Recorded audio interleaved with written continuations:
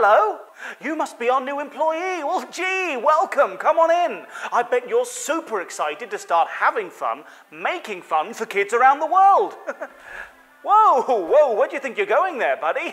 Look, I know it's exciting, but before we can get you out there on the factory floor, we've got to talk about safety, huh? That's right, because my pal Huggy says that fun is just one part of fundamentally understanding the need for awareness, cleanliness, timeliness, obedience, and regulating yourselves. So, come on, let's get started.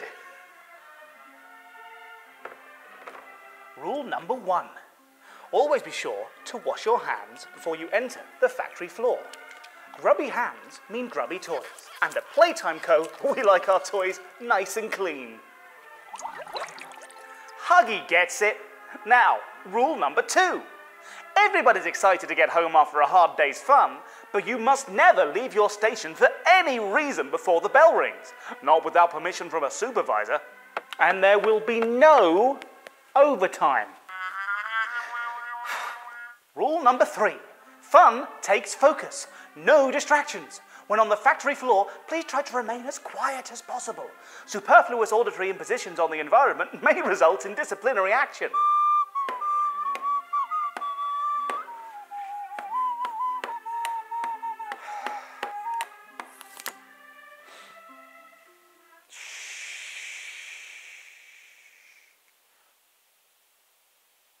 Rule number four secrets. I know you'll all want to go and tell all of your friends about the exciting goings on here at Playtime Co. But you know what's even more exciting? Why, the NDA rules laid out in Section 3, page 42 of your Playtime Co. employee handbook, of course, the breach of which may result in termination. Whoa there, Huggy. Not that kind of termination. Rule number five you must report anybody you see not following these rules to your supervisor. That includes this rule. Anyone observed to not be reporting rule breaking they are currently observing has been observed to be breaking a rule and should be reported immediately. Quickly, before somebody reports you. Rule number six Smile, you're on camera. For your safety, we keep a watchful eye on everybody here at Playtime Co. Any attempt to interfere with Playtime Co surveillance equipment will result in immediate termination. And speaking of Playtime Co equipment, how about those grab packs, eh? Rule number seven. Our handy helpers may seem fun, but not everything in a toy factory is a toy. Always be sure to exercise caution when operating your grab pack around heavy machinery, or else you might end up in a tangle. Ugh.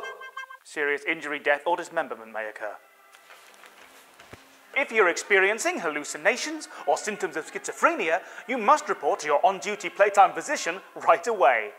Reports of noxious and or hazardous materials used in the production of our toys are both entirely fabricated and highly exaggerated.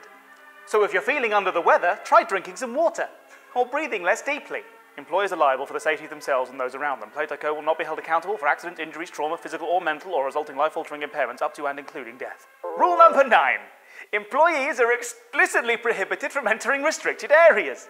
Authorization is given on a case-by-case basis, and employees enter at their own risk. No ifs, ands, or buts. Rule number 10. Don't forget to have fun!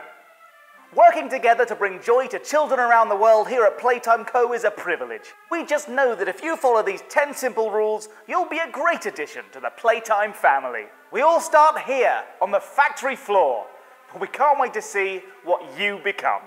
Good luck on your first day. It's goodbye from me, and it's goodbye from Huggy. Goodbye.